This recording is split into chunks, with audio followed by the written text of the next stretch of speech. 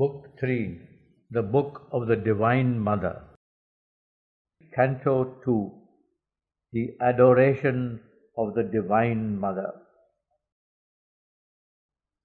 A stillness absolute, incommunicable, meets the sheer self discovery of the soul. A wall of stillness shuts it from the world. A gulf of stillness swallows up the sense and makes unreal all that mind has known, all that the laboring senses still would view, prolonging an imaged unreality. Self's vast spiritual silence occupies space, only the inconceivable is left, only the nameless without space and time.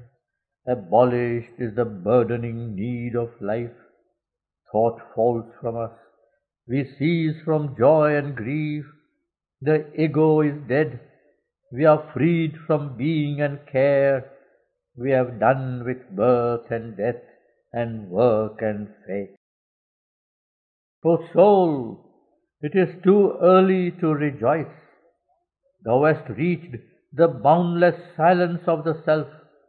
Thou hast leaped into a glad, divine abyss. But where hast thou thrown self's mission and self's power? On what dead bank on the eternal's road? One was within thee, who was self and world. What hast thou done for his purpose in the stars? Escape brings not the victory and the crown. Something thou camest to do from the unknown but nothing is finished, and the world goes on, because only half God's cosmic work is done. Only the everlasting No has neared and stared into thy eyes and filled thy heart. But where is the lover's everlasting Yes and immortality in the secret heart, the voice that chants to the Creator fire the symbol Om, the great assenting word, the bridge between the rapture and the calm, the passion and the beauty of the bride, the chamber where the glorious enemies kiss, the smile that saves, the golden peak of things. This too is truth and the mystic fount of life. A black veil has been lifted. We have seen the mighty shadow of the omniscient Lord. But who has lifted up the veil of light? And who has seen the body of the King? The mystery of God's birth and acts remains, living unbroken, the last chapter seal, unsolved the riddle of the unfinished play. The cosmic player laughs within his mask, and still the last inviolate secret hides behind the human glory of a form, behind the gold eidolon of a name. A large white line has figured as a goal, but far beyond the ineffable sun tracks blaze what seemed the source and end was a wide gate, a last bare step into eternity. An eye has opened upon timelessness. Infinity takes back the forms it gave, and through God's darkness or His naked light, His million rays return into the sun. There is a zero sign of the Supreme, Nature left nude and still uncovers God. But in her grandiose nothingness, all is there. When her strong garbs are torn away from us, the soul's ignorance is slain, but not the soul. The zero covers an immortal face. A high and blank negation is not all a huge extinction is not God's last word, life's ultimate sense, the close of being's course, the meaning of this great mysterious world. In absolute silence sleeps an absolute power. Awaking, it can wake the transbound soul, and in the ray reveal the parent sun. It can make the world a vessel of spirit's force. It can fashion in the clay God's perfect shape. To free the self is but one radiant pace. Here to fulfill himself was God's desire. Even while he stood on being's naked edge, and all the passion and seeking of his soul faced their extinction in some featureless vast, the presence he yearned for suddenly drew close. Across the silence of the ultimate calm, out of a marvelous transcendence core, a body of wonder and translucency, as if a sweet mystic summary of herself escaping into the original bliss had come and lodged out of eternity, someone came infinite and absolute. A being of wisdom, power, and delight, even as a mother draws her child to her arms, took to her breast nature and world and soul, abolishing the signless emptiness, breaking the vacancy and voiceless hush, piercing the limitless unknowable into the liberty of the motionless depths, a beautiful and felicitous luster stole. The power, the light, the bliss no word can speak, imaged itself in a surprising beam and built a golden passage to his heart, touching through him all longing sentient things, a moment's sweetness of the all beautiful, cancel the vanity of the cosmic world, a nature throbbing with a heart divine was felt in the unconscious universe.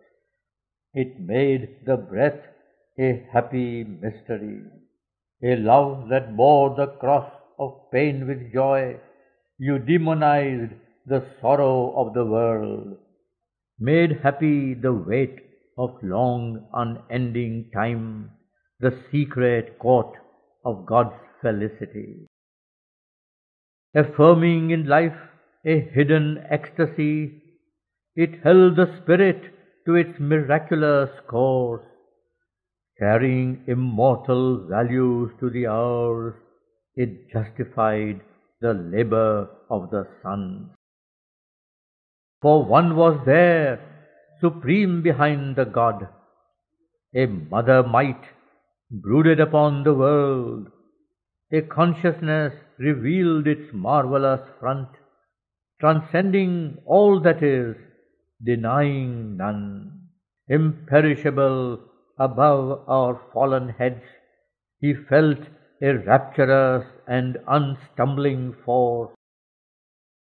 The undying truth appeared, the enduring power of all that here is made and then destroyed, the mother of all goddess and all strengths, who mediatrix binds earth to the supreme, the enigma seized that rules our nature's night, the covering nescience was unmasked and slain, its mind of error was stripped off from things, and the dull moods of its perverting will illumined by her all-seeing identity, knowledge and ignorance could strive no more.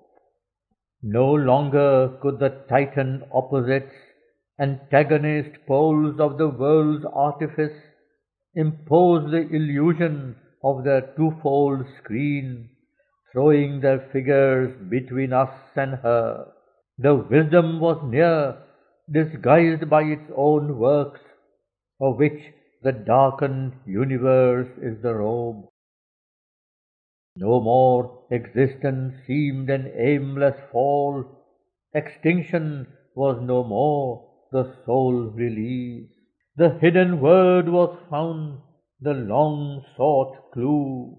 Revealed was the meaning of our spirit's birth, condemned to an imperfect body and mind in the inconscience of material things and the indignity of mortal life. A heart was felt in the spaces wide and bare, a burning love from white spiritual founts annulled the sorrow of the ignorant depths. Suffering was lost in her immortal smile. A life from beyond grew conqueror here of death. To err no more was natural to mind. Wrong could not come where all was light and love. The formless and the formed were joined in her. Immensity was exceeded by a look. A face revealed the crowded infinite. Incarnating inexpressibly in her limbs the boundless joy the blind world forces seek, her body of beauty mooned the seas of bliss. At the head she stands of birth and toil and fate. In their slow round the cycles turn to her call. Alone her hands can change time's dragon base. Hers is the mystery the night conceals. The spirit's alchemist energy is hers. She is the golden bridge, the wonderful fire. The luminous heart of the unknown is she, a power of silence in the depths of God. She is the force, the inevitable word, the magnet of our difficult ascent, the sun from which we kindle all our suns, the light that leans from the unrealized vast, the joy that beckons from the impossible the might of all that never yet came down. All nature dumbly calls to her alone, to heal with her feet the aching throb of life, and break the seals on the dim soul of man, and kindle her fire in the closed heart of things. All here shall be one day her sweetness home. All contraries prepare her harmony. Towards her our knowledge climbs, our passion gropes. In her miraculous rapture we shall dwell. Her clasp will turn to ecstasy our pain. Our self shall be one self with all through her. In her confirmed because transformed in her, our life shall find in its fulfilled response above the boundless hushed beatitudes, below the wonder of the embrace divine. This known as in a thunder flash of God, the rapture of things eternal filled his limbs. Amazement fell upon his ravished sense, his spirit was caught in her intolerant flame. Once seen, his heart acknowledged only her. Only a hunger of infinite bliss was left. All aims in her were lost, then found in her. His base was gathered to one pointing spire. This was a seed cast into endless time. A word is spoken or a light is shown, a moment sees the ages toil to express. So flashing out of the timeless leaped the worlds, an eternal instant is the cause of the years.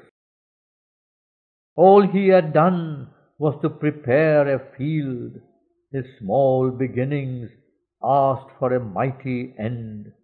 For all that he had been must now new shape in him her joy to embody, to enshrine her beauty and greatness in his house of life.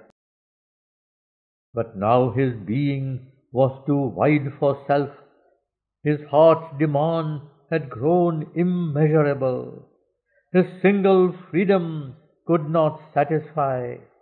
Her light, her bliss he asked for earth and men. But vain are human power and human love to break earth's seal of ignorance and death. His nature's might seem now an infant's grasp. Heaven is too high for outstretched hands to see. This light comes not by struggle or by thought. In the mind's silence the transcendent acts and the hushed heart hears the unuttered word. A vast surrender was his only strength. A power that lives upon the heights must act, bring into life's closed room the immortal's air, and fill the finite with the infinite. All that denies must be torn out and slain, and crushed the many longings for whose sake we lose the one for whom our lives were made. Now other claims had hushed in him their cry, only he longed to draw her presence and power into his heart and mind and breathing frame. Only he yearned to call forever down her healing touch of love and truth and joy into the darkness of the suffering world. His soul was freed and given to her alone.